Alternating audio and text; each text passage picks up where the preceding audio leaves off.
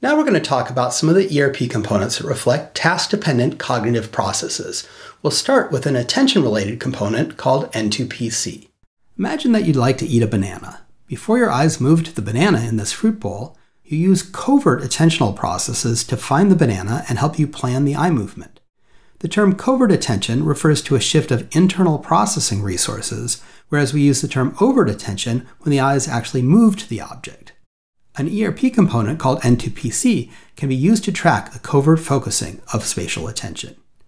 The PC in N2PC stands for posterior contralateral. As you probably learned at some point, the sensory and motor systems have a contralateral organization, with the left hemisphere coding the right side of space and the right hemisphere coding the left side of space. The N2PC is a negative going voltage over posterior electrode sites contralateral to the object being attended.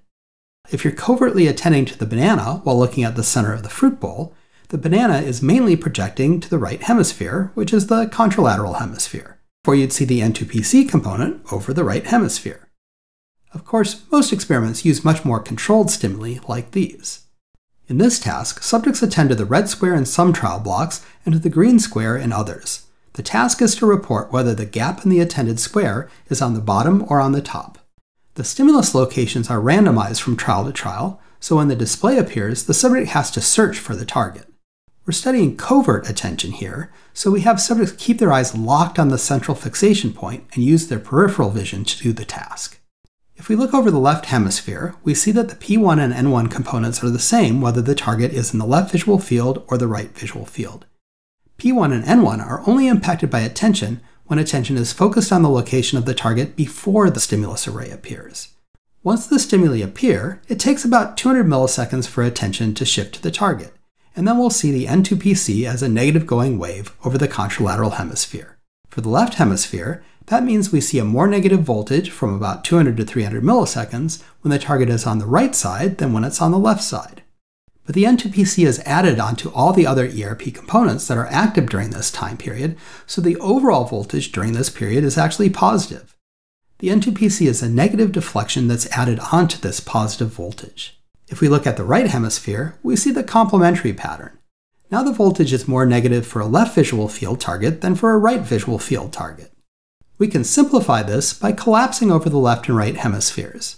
The contralateral waveform is the average of the right hemisphere for the left target and the left hemisphere for the right target. The ipsilateral waveform is the average of the left hemisphere for the left target and the right hemisphere for the right target. The N2PC is defined as the difference in voltage between the contralateral and ipsilateral waveforms. The N2PC allows us to see shifts of covert attention. In other words, we can measure a mental operation that occurs entirely in the head and can't be directly observed in behavior. And that's one of the main virtues of the ERP technique. It allows us to observe the neurocognitive processes that lead to behavior, but cannot be directly observed in behavior. Here's an example from a study that Emily did several years ago. Subjects saw a threat image paired with a neutral image. The stimuli were task irrelevant, and the threat image was equally likely to be on the left side and on the right side. Different images were presented on different trials.